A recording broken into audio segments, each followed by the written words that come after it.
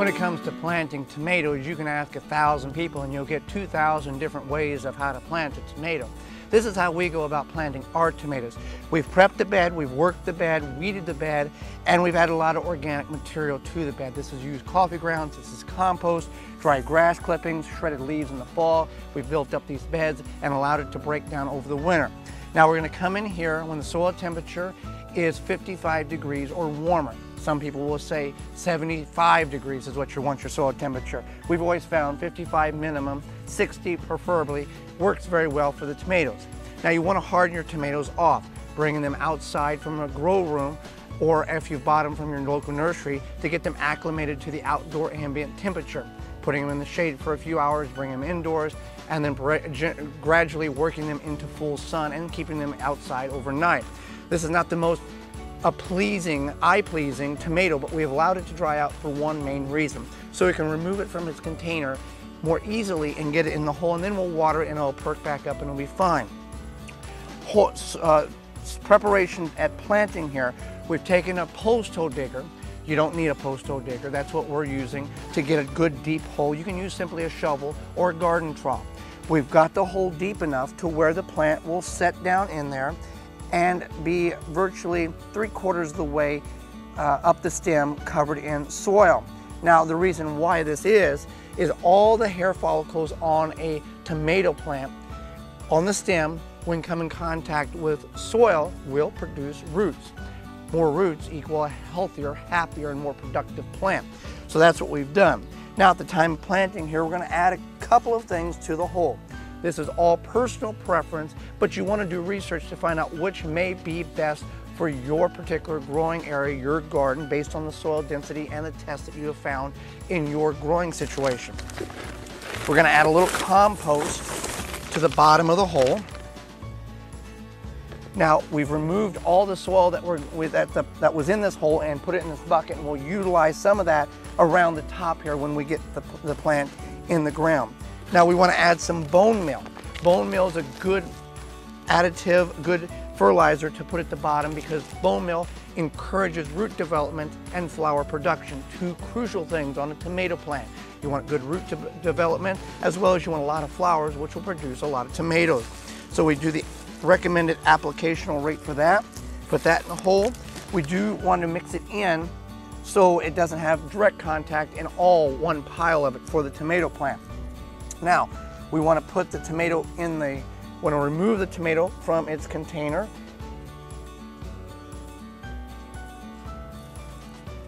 Good roots, nothing's root bound, and we want to plant it, place it in the hole. Now you can see ground level, we do have it healed up here in the center, but ground level, you're pretty close to that first set of leaves. Now we will remove these two set of leaves on the plant and you can just pinch them off nothing's gonna hurt the plant.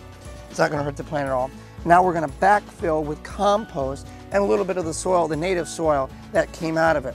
Now in the process of doing this, we do want to add some more fertilizer to this tomato plant in order to encourage and have the best success that it possibly can. And I would recommend adding the fertilizer once you get the hole about halfway filled up. This being if we added the fertilizer like we did with the bone meal, the bone meal, the roots will grow into it and it will kind of stay in that area. I want to add the fertilizer where it's halfway up the hole so as the moisture and, and rain occurs, it will flush down closer to the actual original root system and it can be picked up and the plant can grow very successfully. So I've just made a, a mixture of fertilizer. We're just going to add the recommended rate on that. Now you can add any type of fertilizer you choose to use, but again, you want to follow the recommended applicational rate on the back of the bag. That's why they have it. Too much can burn the plant, too little will be ineffective for the plant. Also, we want to add just a, about a half of a handful at the time of planting of Epsom salt. Well, we're going to go a full handful here. Epsom salt is magnesium sulfate. It doesn't do anything to the plant necessarily. What it allows the plant to do is pick up the recommended calcium or the calcium that's in the soil to greatly reduce the amount of blossom rot that you will that will occur on your tomato. Where blossom rot is that beautiful tomato and then you look at the bottom and it's all black and rotten. This will help the plant pick up the necessary calcium in the soil. That will greatly reduce that and uh, you'll have good ripe tomatoes and you won't have any rotten ones. So now I'm gonna continue to backfill and then when we get done, we're gonna talk a little bit more about plant care for this tomato.